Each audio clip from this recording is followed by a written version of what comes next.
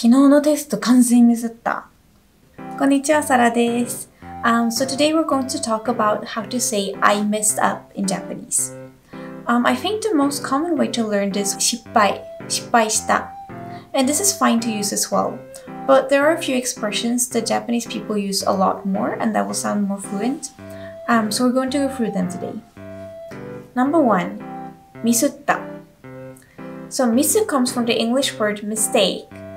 so misu shita means I made a mistake. But it's a little bit long to say, so Japanese people just took the part misu and made it into a verb. So you say misutta. If you just want to say I messed up, you say misutta.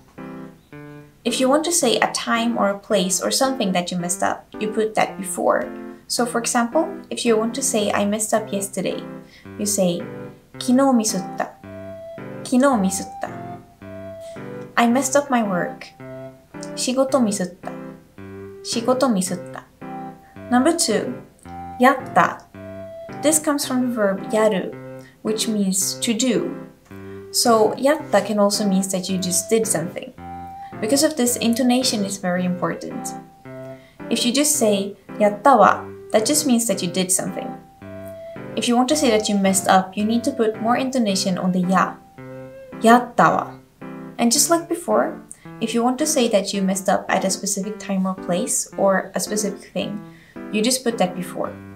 For example, I messed up yesterday. 昨日やったわ。昨日やったわ。I messed up my work. 仕事やったわ。仕事やったわ。Number three, しくった。Now this is originally Osaka Ben, which is the dialect in the Osaka region. This is a little bit old-fashioned and is not as common to use as the last two examples, but um, you will still hear a lot of people using it. So if you just want to say I messed up, you say shikutta. And just like before, if you want to say that you messed up at a specific time or place, or a specific thing, you just put that before. So for example, I messed up yesterday. 昨日しくった。昨日しくった。 I messed up my work. 仕事しくった。仕事しくった。So today we talked about how to say I messed up in Japanese. Um, I think a lot of people might have known 失敗した from before, but these three words are actually a lot more common to use, so try using one of them instead of 失敗した. I hope you learned something new, and if you have any questions, just leave them in the comment section below.